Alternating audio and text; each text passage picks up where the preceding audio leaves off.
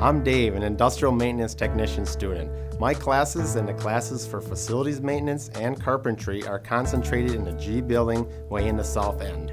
Because in IMT, we are training to be the mechanics of industry. We tackle everything from mechanical, hydraulic, pneumatic, electrical, and welding processes. In the IMT classroom and training area, we learn by doing, completing quite a few hands-on projects using metalworking, milling machines, and lathes. We wire electrical circuits, set up programmable logic controllers, and work on equipment installation and alignment.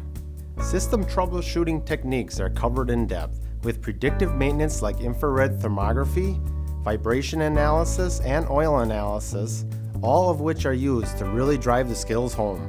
In the Building Trades Carpentry program, students not only work in the construction lab, but they're also out on service learning jobs all the time. That means they take on actual community projects and do most of the work on site. They learn to read blueprints, figure out estimates, and plan for all the materials used on a job. Then they put into practice all the skills needed to do foundation work, rough framing, and finish carpentry. The carpentry students become adept at handling an assortment of tools, including saws, nail guns, levels, planers, joiners, and sanders. A bit of everything to do the job right. I'm Emily, a printing and publishing student. All of my print classes are also in the G building. We're on the side with the graphics and web design students. As a printing and publishing student, I work in the Harry V. Quadracci print room, which has over 14 offset, flexographic, and digital presses. We'll learn the entire process from the programs to make a good print file, to prepress, to output, and finishing work.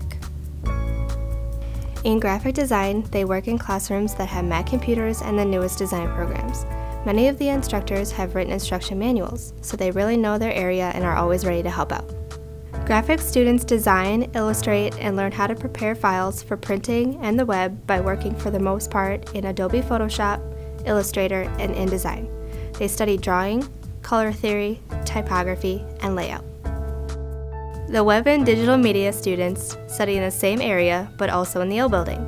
Because not only do they work on designing websites, they also develop the programming to make the site work quickly and smoothly.